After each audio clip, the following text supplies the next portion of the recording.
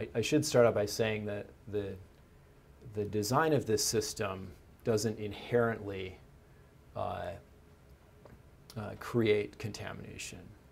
Uh, and that's important to, to, to point out. There's, a, um, if you've ever heard the, the term uh, uh, controlled release versus an uncontrolled release, right? Some systems are just designed to pollute, right? A, a coal-fired power plant, just it, it pollutes as part of its day-to-day. -day.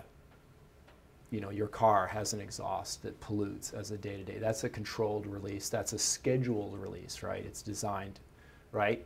You can also get into a crash and, you know, whatever, leak oil all over the place. That would be an unscheduled release.